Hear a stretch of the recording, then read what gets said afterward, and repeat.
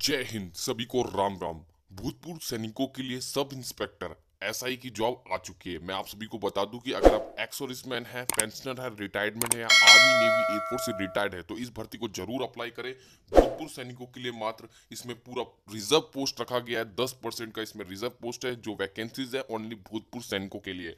तो मैं सारी जानकारी दूँगा कि एक्स सर्विसमैन इसमें कैसे अप्लाई कर सकते हैं। भूतपूर्व सैनिकों का सबसे बड़ा शानदार धमाका भर्ती आ चुका है। अगर आप चाहते हैं ही बनना इंस्पेक्टर बनना तो आप ज़रूर इस वीडियो को अंत तक देखें और वीडियो की पीडीएफ आपको नीचे मिल जाएगी व्हाट्सएप ग्रुप भी नीचे मिल जाएगा और सब्सक्राइब का बटन है नीचे, उसको भी आज ही प्रेस कर लिए ताकि इन फ्यूचर आपको कोई भी दिक्कत ना हो। मैं कोई भी वैकेंसीज एक्स सर्विसमैन के लिए चाहे उनकी नियुक्तियाँ हैं डिपेंडेंट के लिए जॉब है, उनका वेलफेयर है, सब कुछ सबसे पहले यहाँ पे सरल और सटीक शब्दों में बताता हूँ।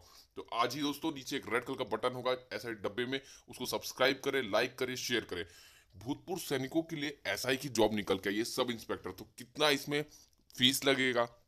कैसे अप्लाई करना है लास्ट डेट क्या होगी, आप लोग अप्लाई कर सकते हो, नहीं कर सकते हो, किस ऑर्गेनाइजेशन से भर्ती निकल के आई है वैकेंसीज कितनी है सैलरी कितनी मिलेगी, सब कुछ बात करेंगे ए टू जेड वीडियो को अंत तक देखें आप लोग ज़रूर आवेदन करें, सबसे अच्छी जॉब अब तक की आई है, सब इंस्पेक्टर की आपकी पोस्ट है, और अच्छी बात तो ये कि जो रिज़र्व है आपका कोटा जो इसमें एक्स सर्विसमैन का है, वो रिज़र्व है तो आप लोग इसमें ज़रूर आवेदन करें, आवेदन की लास्ट तिथि है तीस मई दो हज़ार बाईस। चलिए लेट्स स्टार्ट करते हैं।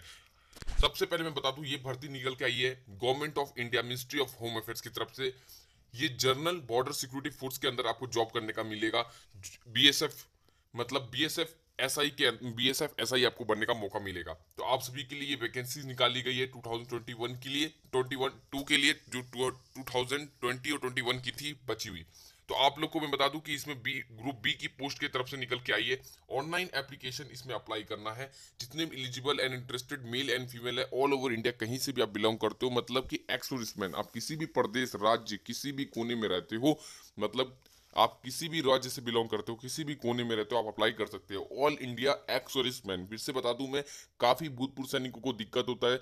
ऑल इंडिया एक्स सर्विसमैन अगर आप सिपाही हैं लास्ट नायक हैं नायक हैं, हवलदार हैं, जेसीओ है, अप्लाई कर सकते हैं। इसमें रैंक का कुछ लेना देना नहीं है। अगर आप एक्स सर्विसमैन का टैग लग चुका है, अगर आप एक्स सर्विसमैन हैं तो अप्लाई कर सकते हैं, आर्मी, नेवी, एयरफोर्स कहीं से भी।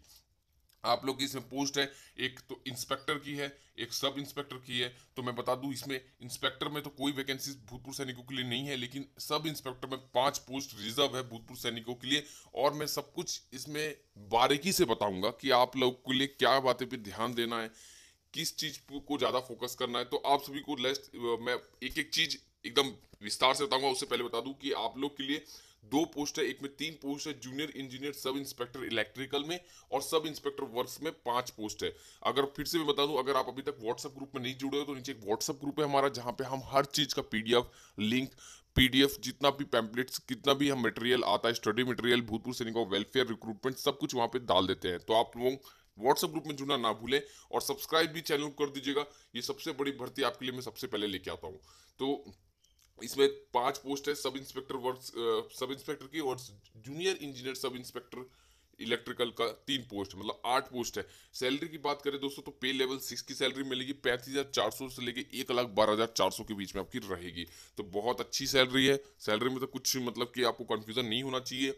आपको मैंने ये भी बता दिया B S F S I की ये जॉब है बीएसएफ के अंदर आपको मतलब बॉर्डर सिक्योरिटी फोर्स के अंदर आपको ऑर्गेनाइजेशन के अंदर ये काम करना पड़ेगा।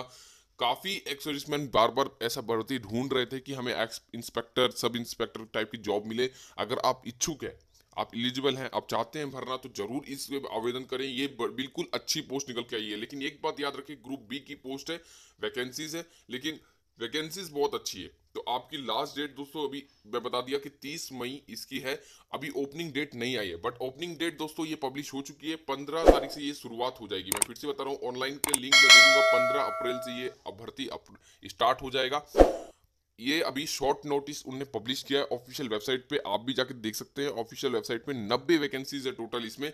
आप इसको काउंट करेंगे तो 90 वैकेंसीज के लिए निकाली गई है ये वैकेंसीज ओनली फॉर ये अभी एक शॉर्ट नोटिस दिया गया है। अभी पंद्रह तारीख से इसका आवेदन शुरू हो जाएगा और मात्र पैंतालीस दिन आपको टाइम मिलता है इसको आवेदन करने का। तीस मई इसकी अंतिम तिथि है। तो आप पंद्रह अप्रैल को वापिस मैं वीडियो अपलोड कर दूँगा या लिंक एक्टिवेट कर दूँगा लिंक मैं प्रोवाइड कर दूँगा तो आप वहाँ से अप्लाई कर सकते हैं। फिर से बता दूँ, ये पंद्रह अप्रैल से शुरुआत होगा। दो तीन दिन आपको रुकना पड़ेगा।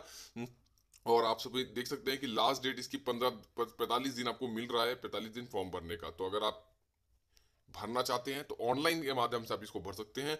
ऑनलाइन मोड है, बस यहाँ देख सकते हैं आप ऑनलाइन मोड है, सब कुछ यहाँ प्रोवाइडेड है। ये देखिए, यहाँ पे ऑनलाइन मोड है। आगे बात करते हैं दोस्तों क्वालिफिकेशन क्या होगी?